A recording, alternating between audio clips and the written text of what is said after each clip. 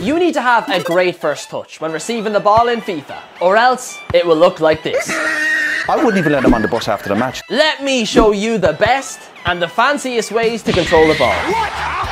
And make sure to hit that follow button if you want to see more FIFA tips. Here is the perfect first touch in FIFA 23. Check this out. When you receive the ball, it's very important to let go of the sprint button. This allows your player to use close control with the left analog to make space for the perfect strike. Perfect. When the ball is coming to your player, hold R1 while aiming your left analog at goal to activate the feint turn. Your player will let the ball roll by them to keep momentum moving forward.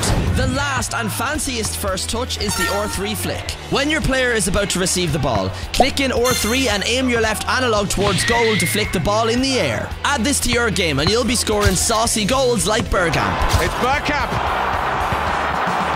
That's magnificent. Let me know in the comments what you want to see next.